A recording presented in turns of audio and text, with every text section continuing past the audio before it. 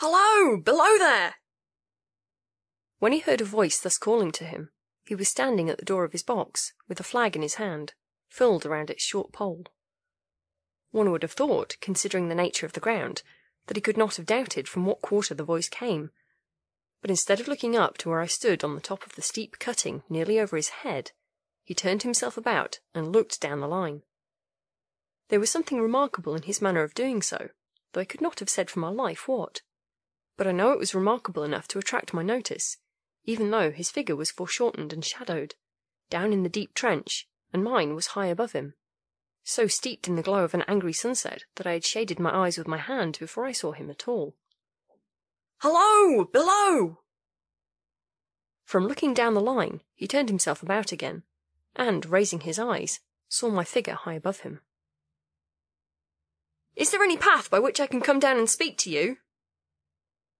He looked up at me without replying, and I looked down at him without pressing him too soon with a repetition of my idle question. Just then there came a vague vibration in the earth and air, quickly changing into a violent pulsation, and an oncoming rush that caused me to start back, as though it had force to draw me down. When such vapour as rose to my height from this rapid train had passed me, and was skimming away over the landscape, I looked down again, and saw him refilling the flag he had shown while the train went by. I repeated my inquiry.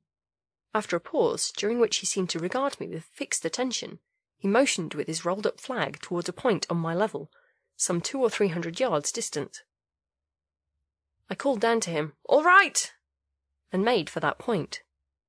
There, by dint of looking closely about me, I found a rough zigzag descending path notched out, which I followed. The cutting was extremely deep and unusually precipitate. It was made through a clammy stone that became oozier and wetter as I went down. For these reasons, I found the way long enough to give me time to recall a singular air of reluctance or compulsion with which he had pointed out the path. When I came down low enough upon the zigzag descent to see him again, I saw that he was standing between the rails on the way by which the train had lately passed in an attitude as if he were waiting for me to appear. He had his left hand at his chin, and that left elbow rested in his right hand, crossed over his breast. His attitude was one of such expectation and watchfulness that I stopped a moment, wondering at it. I resumed my downward way, and stepping out upon the level of the railroad, and drawing nearer to him, saw that he was a dark sallow man, with a dark beard and rather heavy eyebrows.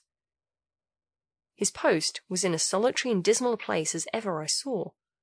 On either side a dripping wet wall of jagged stone, excluding all view but a strip of sky; the perspective one way only a crooked prolongation of this great dungeon, the shorter perspective in the other direction terminating in a gloomy red light, and the gloomier entrance to a black tunnel, in whose massive architecture there was a barbarous, depressing, and forbidding air.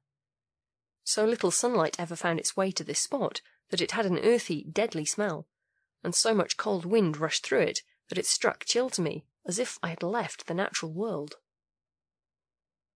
Before he stirred, I was near enough to him to have touched him. Not even then removing his eyes from mine, he stepped back one step and lifted his hand. This was a lonesome post to occupy, I said, and it had riveted my attention when I looked down from up yonder.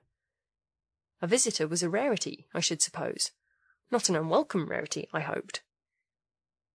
In me, he merely saw a man who had been shut up within narrow limits all his life, and who, being at last set free, had a newly awakened interest in these great works. To such purpose I spoke to him, but I am far from sure of the terms I used, for, besides that I am not happy in opening any conversation, there was something in the man that daunted me. He directed a most curious look toward the red light near the tunnel's mouth and looked all about it as if something were missing from it, and then looked at me. That light was part of his charge, was it not? He answered in a low voice, Don't you know it is? The monstrous thought came into my mind, as I perused the fixed eyes and the saturnine face, that this was a spirit, not a man. I have speculated since whether there may have been an infection in his mind. In my turn I stepped back, but in making the action I detected in his eyes some latent fear of me. This put the monstrous thought to flight. You look at me, I said, forcing a smile, as if you had a dread of me. I was doubtful, he returned, whether I had seen you before. Where? He pointed at the red light he had looked at. There, I said. Intently watchful of me, he replied, but without sound, Yes. My good fellow, what should I do there? However, be that as it may, I never was there, you may swear. I think I may, he rejoined. Yes, I am sure I may. His manner cleared, like my own. He replied to my remarks with readiness, and in well chosen words. Had he much to do there? Yes. That was to say, he had enough responsibility to bear, but exactness and watchfulness were what was required of him, and of actual work, manual labour, he had next to none. To change that signal, to trim those lights, and to turn this iron handle now and then, was all he had to do under that head. Regarding those many long and lonely hours of which I seemed to make so much, he could only say that the routine of his life had shaped itself into that form, and he had grown used to it. He had taught himself a language down here, if only to know it by sight and to have formed his own crude ideas of its pronunciation could be called learning it.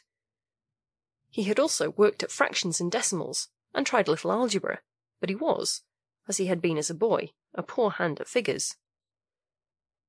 Was it necessary for him, when on duty, always to remain in that channel of damp air, and could he never rise into the sunshine from between these high stone walls?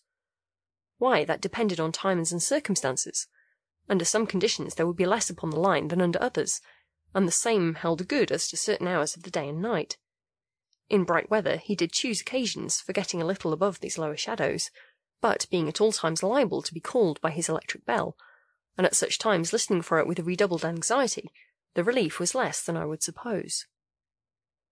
He took me into his box, where there was a fire, a desk for an official book in which he had to make certain entries, a telegraphic instrument with its dial, face, and needles, and the little bell of which he had spoken.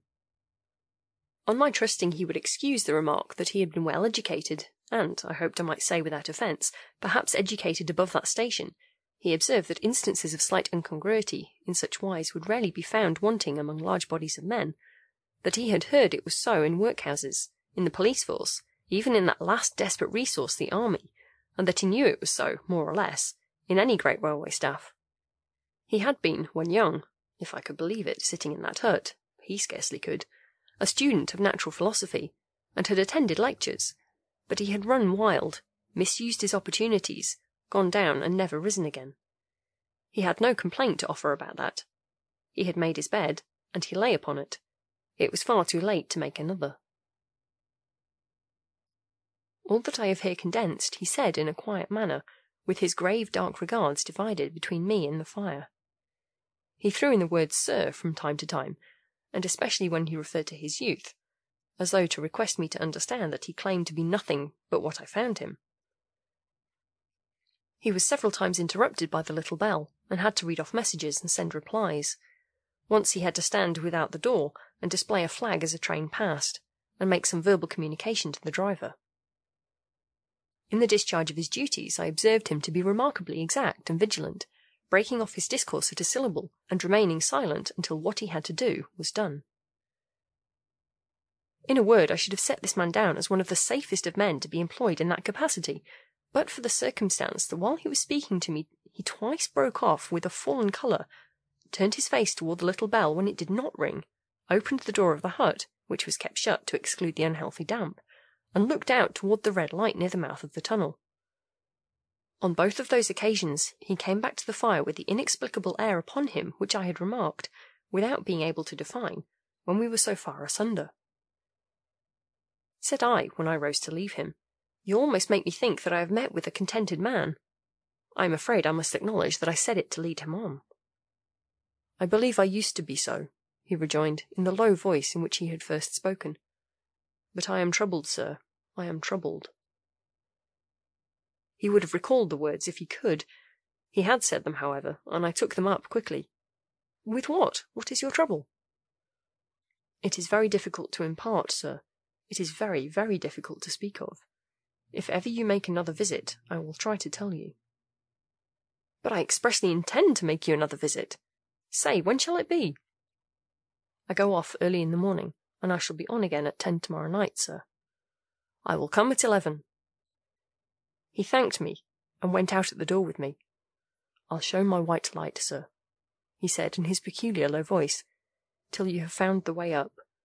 When you have found it, don't call out, and when you are at the top, don't call out. His manner seemed to make the place strike colder to me, but I said no more than, Very well. And when you come down tomorrow night, don't call out. Let me ask you a parting question. What made you cry, Hullo, below there, tonight? Heaven knows, said I. I cried something to that effect. Not to that effect, sir. Those were the very words. I know them well. Admit those were the very words. I said them, no doubt, because I saw you below. For no other reason. What other reason could I possibly have? You had no feeling that they were conveyed to you in any supernatural way? No. He wished me good night and held up his light. I walked by the side of the down line of rails, with a very disagreeable sensation of a train coming behind me, until I found the path. It was easier to mount than to descend, and I got back to my inn without any adventure. Punctual to my appointment, I placed my foot on the first notch of the zigzag next night, as the distant clocks were striking eleven. He was waiting for me at the bottom with his white light on. I have not called out, I said, when we came close together. May I speak now? By all means, sir. Good night, then, and here's my hand. Good night, sir, and here's mine. With that we walked side by side to his box, entered it, closed the door, and sat down by the fire. I have made up my mind, sir, he began, bending forward as soon as we were seated, and speaking in a tone a little above a whisper, that you shall not have to ask me twice what troubles me. I took you for someone else yesterday evening. That troubles me. That mistake? No, that's someone else. Who is it? I don't know. Like me? I don't know. I never saw the face. The left arm is across the face, and the right arm is waved, violently waved, this way. I followed his action with my eyes, and it was the action of an arm gesticulating with the utmost passion and vehemence, For God's sake, clear the way! One moonlit night, said the man, I was sitting here, when I heard a voice cry, Hullo, below there! I started up, looked from the door, and saw this someone else standing by the red light near the tunnel, waving, as I just now showed you. The voice seemed hoarse with shouting, and it cried, Look out! Look out! And then attained, Hullo! Below there! Look out!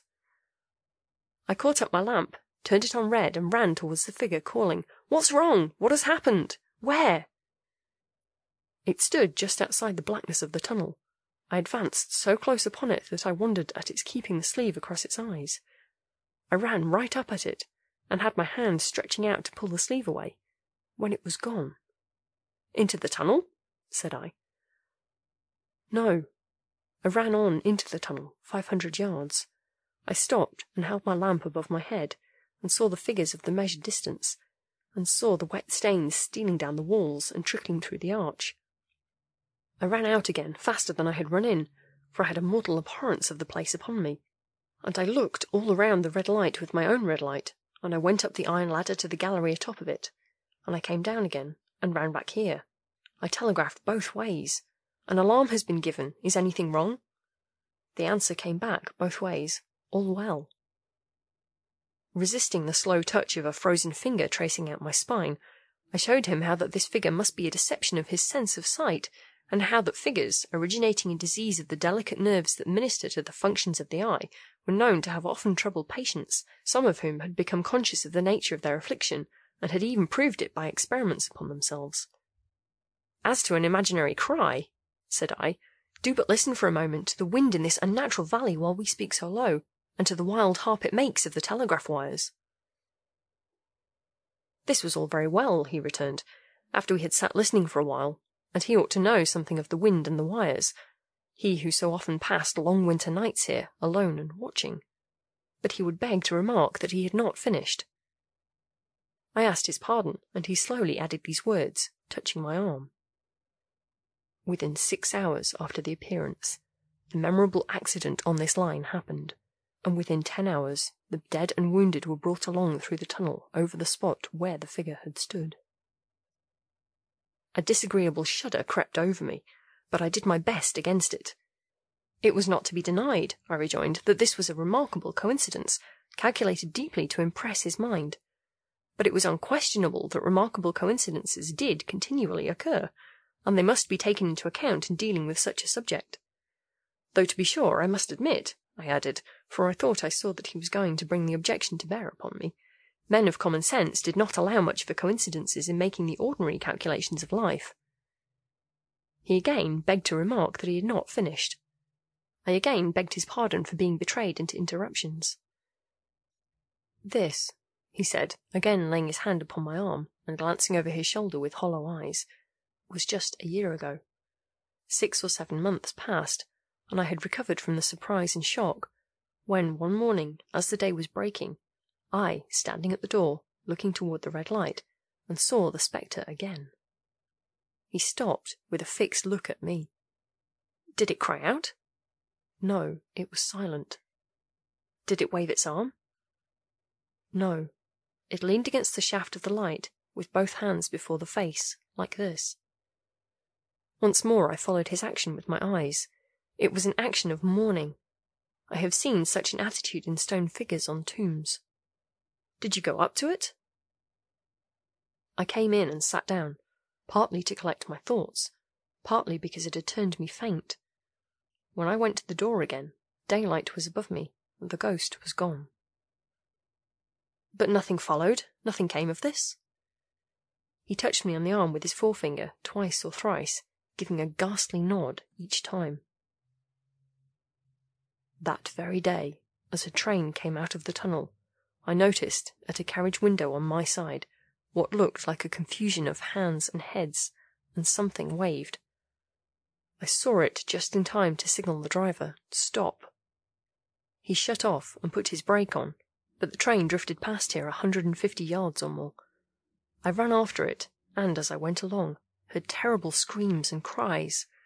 A beautiful young lady had died instantaneously in one of the compartments, and was brought in here and laid down on this floor between us. Involuntarily I pushed my chair back as I looked from the boards at which he had pointed to himself.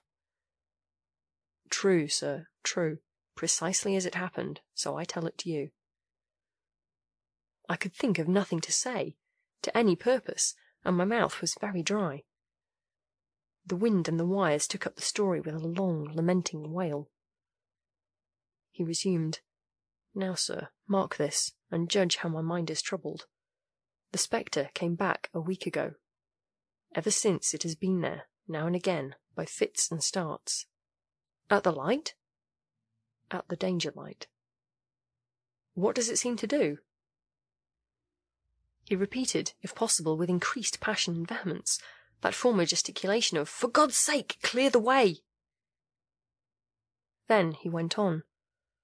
I have no peace or rest for it. It calls to me for many minutes together in an agonized manner. Below there! Look out! Look out! It stands waving to me. It rings my little bell. I caught at that. Did it ring your bell yesterday evening when I was here, and you went to the door? Twice. Why, see, said I, how your imagination misleads you. My eyes were on the bell, and my ears were open to the bell, and if I am a living man, it did not ring at those times. No, nor at any other time, except when it was rung in the natural course of physical things by the station communicating with you. He shook his head. I have never made a mistake as to that yet, sir. I have never confused the spectre's ring with the man's. The ghost's ring is a strange vibration in the bell, that it derives from nothing else and I have not asserted that the bell stirs to the eye. I don't wonder that you failed to hear it, but I heard it. And did the spectre seem to be there when you looked out? It was there. Both times? He repeated firmly, both times. Will you come to the door with me and look for it now? He bit under his lip as though he were somewhat unwilling, but arose. I opened the door and stood on the step, while he stood in the doorway. There was the danger light. There was the dismal mouth of the tunnel. There were the high, wet stone walls of the cutting. There were the stars above them. Do you see it? I asked him, taking particular note of his face.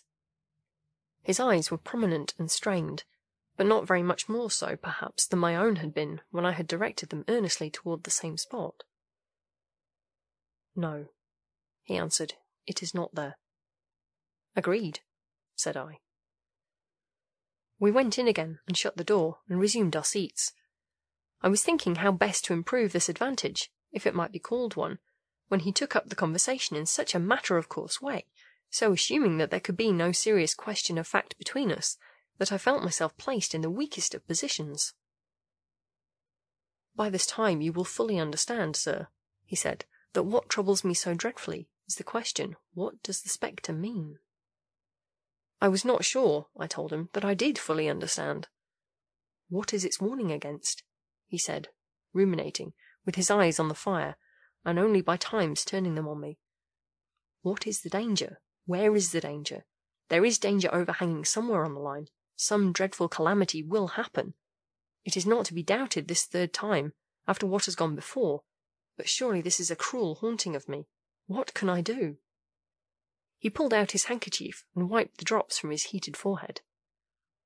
If I telegraph danger, on either side of me, or on both, I can give no reason for it, he went on, wiping the palms of his hands. I should get into trouble, and do no good. They would think I was mad. This is the way it would work. Message, danger, take care.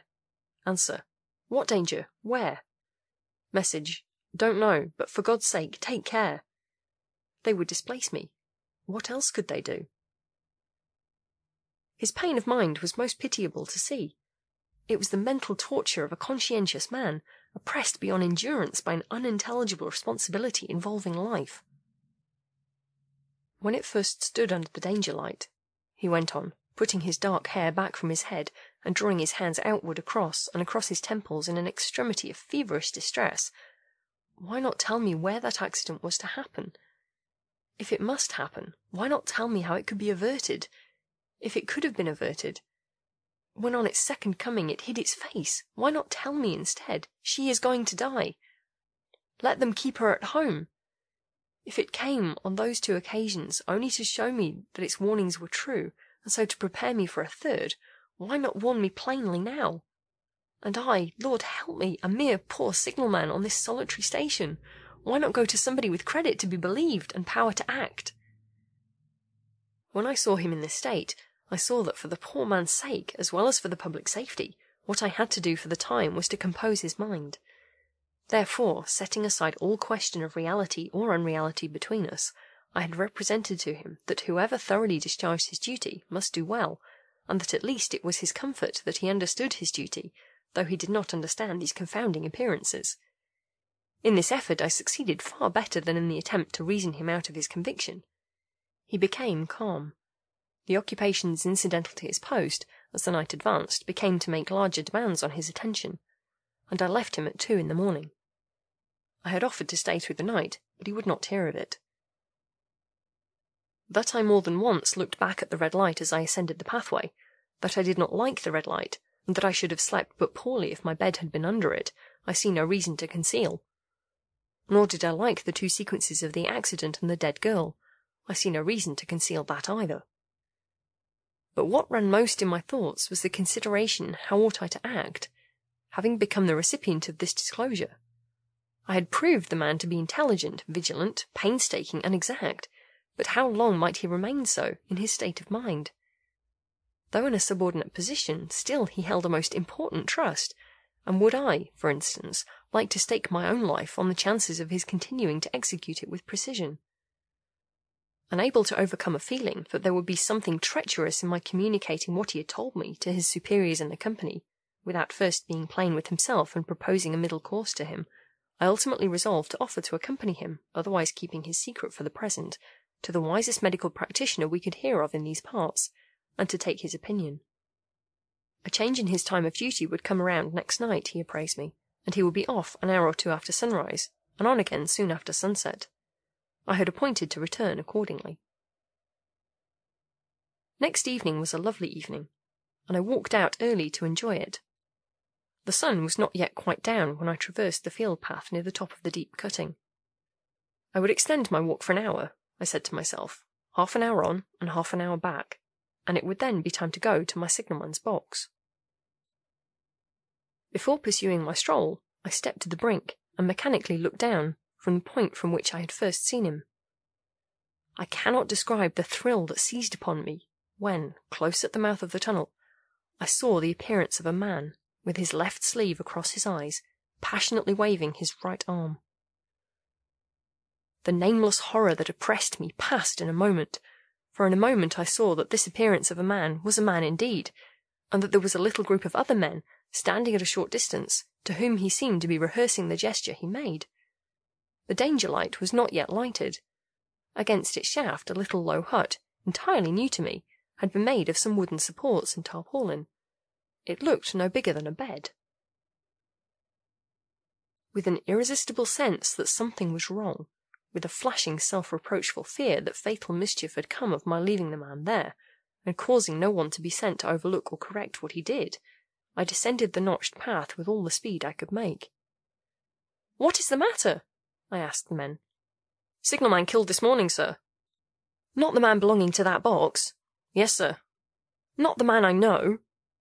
You will recognize him, sir, if you knew him, said the man who spoke for the others, solemnly uncovering his own head and raising an end of the tarpaulin. For his face is quite composed. Oh, how did this happen? How did this happen? I asked, turning from one to another as the hut closed in again. He was cut down by an engine, sir. No man in England knew his work better, but somehow he was not clear of the outer rail. It was just at broad day. He had struck the light, and had the lamp in his hand. As the engine came out of the tunnel, his back was towards her, and she cut him down. That man drove her, and was showing how it happened. Show the gentleman, Tom. The man, who wore a rough dark dress, stepped back to his former place at the mouth of the tunnel. Coming round the curve in the tunnel, sir, he said, I saw him at the end, like as if I saw him down a perspective glass. There was no time to check speed, and I knew him to be very careful. As he didn't seem to take heed of the whistle, I shut it off when we were running down upon him, and called to him as loud as I could call. What did you say? I said, Below there! Look out! Look out! For God's sake, clear the way! I started. Oh, it was a dreadful time, sir. I never left off calling to him. I put this arm before my eyes not to see, and I waved this arm to the last, but it was no use. Without prolonging the narrative to dwell on any one of its curious circumstances more than on any other, I may, in closing it, point out the coincidence that the warning of the engine driver included not only the words which the unfortunate signalman had repeated to me as haunting him, but also the words which I myself, not he, had attached, and that only in my own mind, to the